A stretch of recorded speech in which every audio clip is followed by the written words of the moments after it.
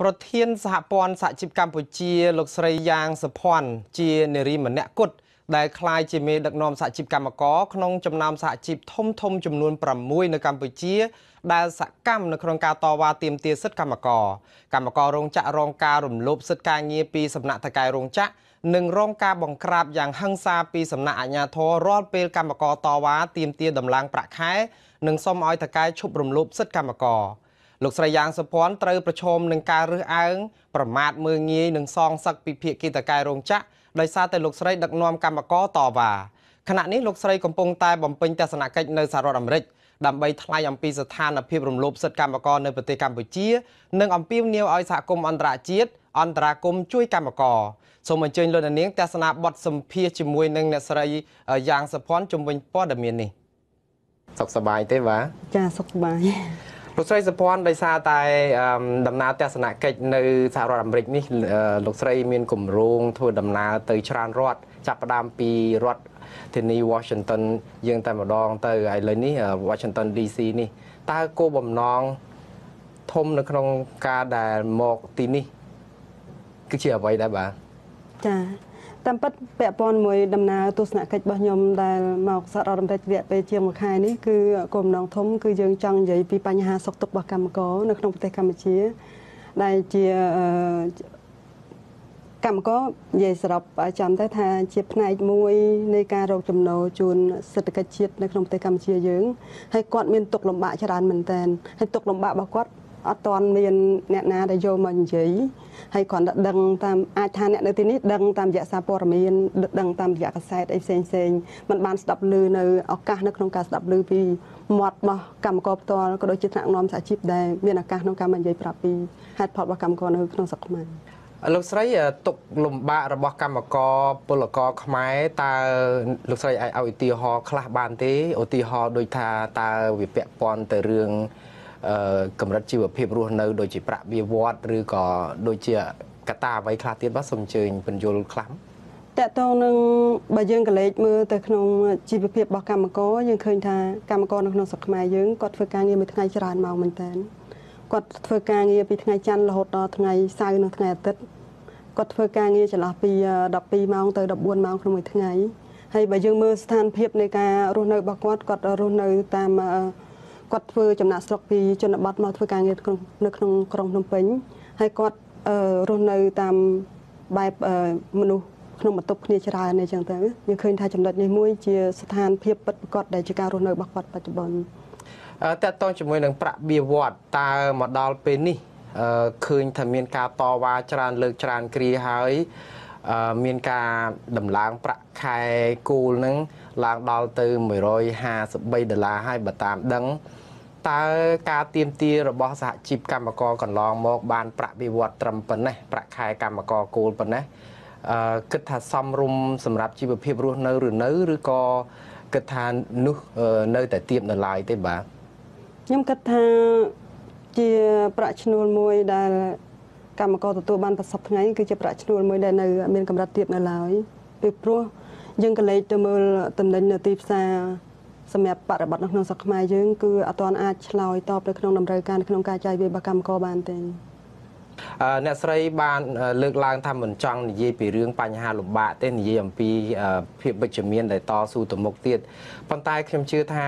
យ៉ាងណាក៏នៅតែមានបញ្ហាជាឧបសគ្គមួយចំនួនដែលអ្នកស្រីក្នុងនាមជាថ្នាក់ដឹកនាំមួយរូបនៃរបស់សហជីពប្រហែលជាចង់ចែករំលែកថាតើមានអ្នកភាពលំបាកហ្នឹងបានយ៉ាងដូចម្ដេចដើម្បី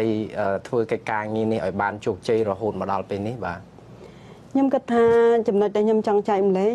ទី1យើងអាចតស៊ូនៅក្នុងកម្រិតគ្រួសាររបស់យើងបន្តមកយើងតស៊ូនៅក្នុងកម្រិតកន្លែងការងារបន្តមកយើងតស៊ូក្នុងសង្គមទៀតយើងយើងកលេចទៅមើលវិញថាខ្ញុំឧទាហរណ៍ថាយើងចង់បានសិទ្ធិនៅក្នុងការទទួលខុសត្រូវរបស់យើងយើងចង់ឲ្យគេឮពីអ្វីដែលជាស្ដីត្រូវការរបស់យើងហើយយើងទទួលស្គាល់ថាភាពតស៊ូតទៅមុខគឺជួបប្រទះនៅបញ្ហាប្រឈម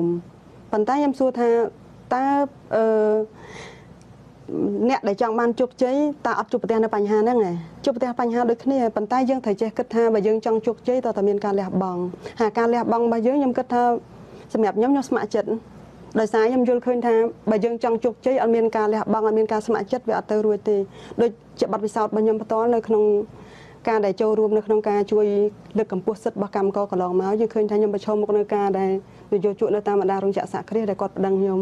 នៅក្នុងស្រុកខ្មែរយើងមានជាង500ក្រុមហ៊ុនដែលបានប្តឹងខ្ញុំណា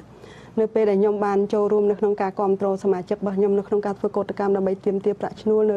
ក្នុងឆ្នាំ2000ចុងឆ្នាំ2013ដល់ឆ្នាំ2014ចឹងសម្រាប់ខ្ញុំខ្លួនឯងខ្ញុំអត់ខ្លាចទេពីព្រោះខ្ញុំគិតថាខ្ញុំដើរតួនាទីក្នុងនាមខ្ញុំជាថ្នាក់ដឹកនាំរបស់ពួកគាត់បើសិនណាខ្ញុំអត់បំពេញកតាបកិច្ចក្នុងនាមខ្ញុំជាថ្នាក់ដឹកនាំរបស់គាត់សួរថាពួកគាត់មិនគ្រប់គ្រងខ្ញុំហើយខ្ញុំយល់ឃើញថាអ្វីដែលជាទង្វើរបស់ខ្ញុំធ្វើគឺជាការទង្វើដែលធ្វើត្រឹមត្រូវ ខ្ញុំគិតថាអ្នកឯងប្តឹងខ្ញុំតើអ្នកយោងទៅលើមូលដ្ឋានអីខ្ញុំក៏ដើរតួនាទីក្នុងការទៅបញ្យល់សមាជិករបស់ខ្ញុំឲ្យគាត់យល់ពីផ្លូវច្បាប់នៅអ្វីដែលគាត់ជាការចង់បានរបស់គាត់ហើយខ្ញុំចូលរួមនៅក្នុងការគ្រប់គ្រងនៅអ្វីដែលជាការជាសិទ្ធិនៅក្នុងការរស់នៅរបស់គាត់បើសិនណារដ្ឋផ្ដល់ផ្ដល់ប្រាក់ឈ្នួលឲ្យគាត់មិនត្រឹមត្រូវហើយគាត់មិនអាចរស់បានផងហើយយើងគ្រាន់តែមានសិទ្ធិនៅក្នុងការនិយាយហើយប្រាប់ពួកគាត់ខ្ញុំគិតថាកន្លែងនេះមួយខ្ញុំអត់មានកំហុសទេ ចឹងខ្ញុំចង់ផ្ដាំផ្ញើទៅអ្នកទាំងអស់គ្នាដែលរស់នៅនៅលើពិភពលោកឬក៏ស្ត្រីទូទៅនៅក្នុងវិស័យកាត់ដេរអីខ្ញុំគិតថាគាត់គួរតែចាប់ដើមគិតពីចំណុចហ្នឹងឡើងវិញ លោកស្រីថាតកតងជាមួយនឹងការរំលោភសិទ្ធិនេះគឺខាងរដ្ឋាភិបាល គឺគេបាននិយាយច្បាស់ណាស់ជាពិសេសអ្នកតំណាងឲ្យក្រសួងការងារគេថាច្បាប់សហជីពដែលទើបតែអនុម័តដែលចេញឲ្យអនុវត្តថ្មីនេះគឺជាច្បាប់ដែលមានប្រសិទ្ធភាពហើយជាច្បាប់ដែលល្អលើសគេនៅក្នុងច្បាប់សហជីពកម្មករនៅក្នុងតំបន់ចិត្តចិត្តខាងយើងនេះតើ លោកស្រីមានអីតបតទៅនឹងការលើកឡើងបែបនេះទេតើការរំលោភសិទ្ធិនឹងប៉ុណ្ណាដែលផ្ទុយពីអ្វីដែលខាងការងារគេលើកឡើងបាទខ្ញុំគិតថាគាត់ច្បាស់ជានិយាយបែបហ្នឹងពីព្រោះគាត់ជាអ្នកតាក់តែងច្បាប់នោះដោយខ្លួនឯងប៉ុន្តែបើសិនណាឲ្យកម្មករឬក៏ឲ្យសហជីពផ្ដល់យោបល់ទៅលើច្បាប់នឹងវិញខ្ញុំគិតថា ខ្ញុំអត់សប្បាយចិត្តនឹងច្បាប់នេះទេពីព្រោះច្បាប់នេះចែងមកហាក់ដូចជាបាត់បង់នៅសិទ្ធិរបស់កម្មករបាត់បង់នៅសិទ្ធិរបស់សហជីពសិទ្ធិរបស់កម្មករច្រើនមែនទែននៅក្នុងច្បាប់ហ្នឹងបើយើងសិនតែយើងក៏លេចទៅមើលច្បាប់ហ្នឹងទស្សនវិជ្ជានៃច្បាប់ហ្នឹងទាំងមូលប៉ុន្តែបើសិនណារដ្ឋាភិបាលតាក់តែងច្បាប់ដោយមិនយកយោបល់របស់ពួកយើងទេខ្ញុំគិតថាថ្ងៃក្រោយយើងនឹងជួបប្រទះនៅបញ្ហាប្រឈមច្រើនហើយហើយកុំគិតថាអូ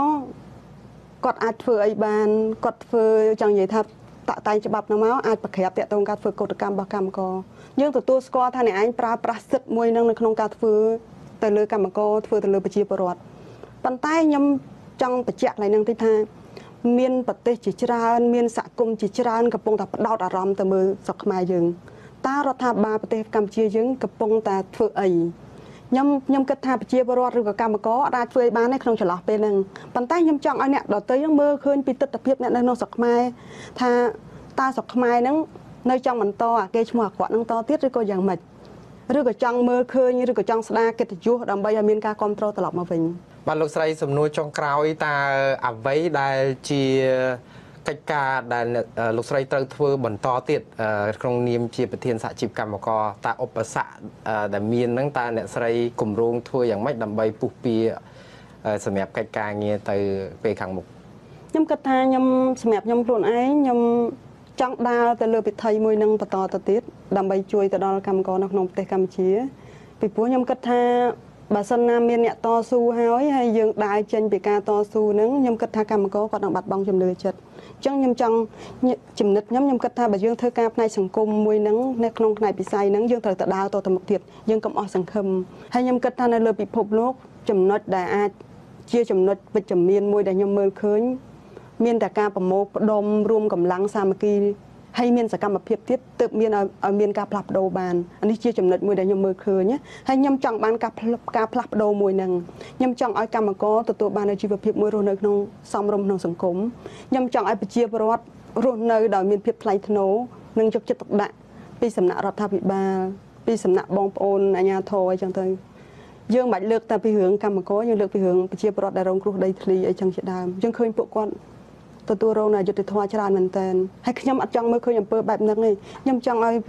រដ្ឋាភិបាលខ្ញុំចង់ឲ្យស្ថាប័នពាក់ព័ន្ធព្យាយាមក្នុងការគិតមើលប្រមាលមើលអ្នករស់នៅជុំវិញខ្លួនយើងអត់អាចរស់នៅដោយមានក្តីសុខតែឯងបានទេយើងត្រូវមើលមនុស្សនៅជុំវិញខ្លួនរបស់យើងតើគាត់មានជីវភាពរស់នៅមិនហើយរដ្ឋមានកាតព្វកិច្ចក្នុងការគាំពៀគាត់យ៉ាងម៉េចបាទអរគុណលោកស្រីសុភ័ណ្ឌបាទសូមអរគុណ